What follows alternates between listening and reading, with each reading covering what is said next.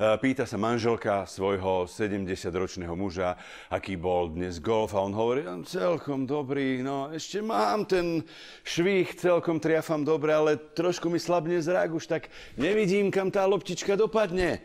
No tak zober so sebou môjho brata, hovorí manželka. Prečo pre Boha? Tak on má síce 80 a golf vôbec nehrá, ale má skvelý zrak stále, takže uvidí, kam si to trafil. Manžel to teda skúsi, zoberie švagra so sebou, postaví si loptičku, urobí odpál, to odpáli sa všetko, padne loptička a on sa pýta, čo? Videl si, kam dopadla loptička? No, videl, videl. No, a čo? Kde? Ako som trafil? Ja už som zabudol.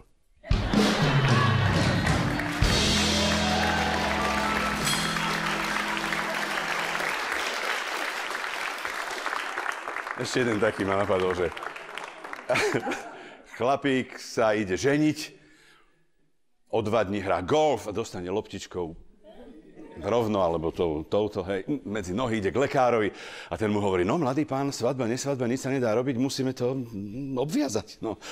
Nadíde svadobná noc, chlapíková manželka sa vyzlečie, obnaží prsia a hovorí, miláčik, ešte nikdy sa ich žiadne prsty nedotkli.